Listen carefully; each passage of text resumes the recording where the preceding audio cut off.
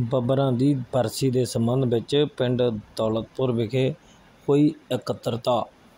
ਸ਼ਹੀਦ ਬੱਬਰ ਕਰਮ ਸਿੰਘ ਅਤੇ ਉਹਨਾਂ ਦੇ ਸਾਥੀਆਂ ਦੀ ਸ਼ਹਾਦਤ ਨੂੰ ਸਮਰਪਿਤ ਇੱਕ ਸਤੰਬਰ ਦੋ ਹਜ਼ਾਰ ਤੇਈ ਨੂੰ ਹੋਣ ਵਾਲੇ ਸੌ ਸਾਲਾ ਸ਼ਤਾਬਦੀ ਸਮਾਗਮ ਅਤੇ ਇਹਨਾਂ ਸਮਾਗਮਾਂ ਦੇ ਦੌਰਾਨ ਸਤਾਈ ਅਗਸਤ ਦੋ ਹਜ਼ਾਰ ਤੇਈ ਨੂੰ ਪਿੰਡ ਦੌਲਤਪੁਰ ਤੋਂ ਪਿੰਡ ਬਵੇਲੀ ਤੱਕ ਸਜਾਏ ਜਾਣ ਵਾਲੇ ਨਗਰ ਕੀਰਤਨ ਦੇ ਸੰਬੰਧ ਵਿੱਚ ਸਾਰੇ ਹੀ ਨਗਰ ਦੌਲਤਪੁਰ ਦੀ ਸਾਂਝੇ ਤੌਰ 'ਤੇ ਇਕੱਤਰਤਾ ਹੋਈ, ਜਿਸ ਵਿੱਚ ਪਿੰਡ ਦੌਲਤਪੁਰ ਦੇ ਪਤਵੰਤੇ ਸੱਜਣਾਂ ਨੇ ਆਪੋ ਆਪਣੇ ਵਿਚਾਰ ਸਾਂਝੇ ਕਰਦੇ ਹੋਏ ਰੂਪ ਰੇਖਾ ਲਿਖੀ ਅਤੇ ਆਪੋ ਆਪਣੀਆਂ ਸੇਵਾਵਾਂ ਮਿਲੀਆਂ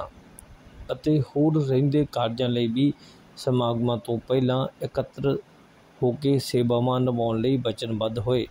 ਇਸ ਮੌਕੇ ਮਣੀ ਸਿੰਘ ਪ੍ਰਧਾਨ ਹਰਭਜਨ ਸਿੰਘ, ਜਸਵੀਰ ਸਿੰਘ, ਤਰਨਜੀਤ ਸਿੰਘ ਥਾਂਦੀ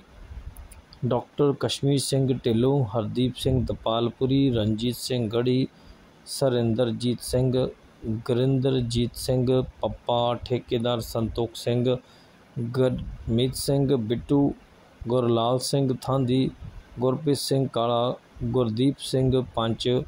ਹਰਦੀਪ ਸਿੰਘ ਧਾਲੀਵਾਲ ਰਾਜੇਸ਼ਪਾਲ ਸਿੰਘ ਖੰਨਾ, ਗੁਰਚਰਨ ਸਿੰਘ ਟੋਲਾ ਹਰਕਿਰਤ ਸਿੰਘ ਠੇਕੇਦਾਰ ਦੇਸਰਾਜ, ਸੁਖਦੇਵ ਸਿੰਘ ਸੁੱਖਾ, ਮਨਜੀਤ ਸਿੰਘ ਅਤੇ ਹੋਰ ਪਤਵੰਤੇ ਸੱਜਣ ਹਾਜ਼ਰ ਸਨ। ਇਹ ਸਾਰਾ ਕੰਮ ਜਿਹੜਾ ਸਾਨੂੰ ਕਰਨਾ ਪੈਣਾ ਸਾਡੇ ਸਾਡੇ ਜ਼ਰੂਰ ਹੈ ਐਨਕੀ ਸਾਡੇ ਦੇ ਜ਼ਰੂਰ, ਠੀਕ ਹੈ?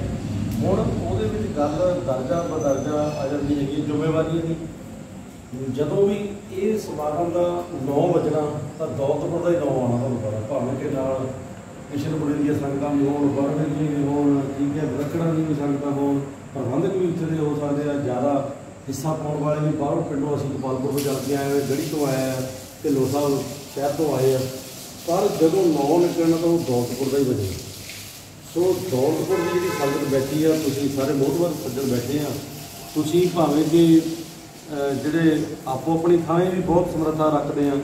ਕੱਲੇ ਕੱਲੇ ਜਿੱਦ ਜਿੱਦ ਤੁਹਾਡਾ ਵਜੂਦ ਹੈਗਾ। ਬਟ ਇੱਕ ਜਿੱਦਾਂ ਮਤਲਬ ਇੱਕ ਸਰਦਾਰੀ ਰੱਖ ਲਓ ਜਾਂ ਆਪਾਂ ਇੱਕ ਜ਼ਿੰਮੇਵਾਰੀ ਸਾਂਝੀ ਦੇ ਦਿੰਦੇ ਆ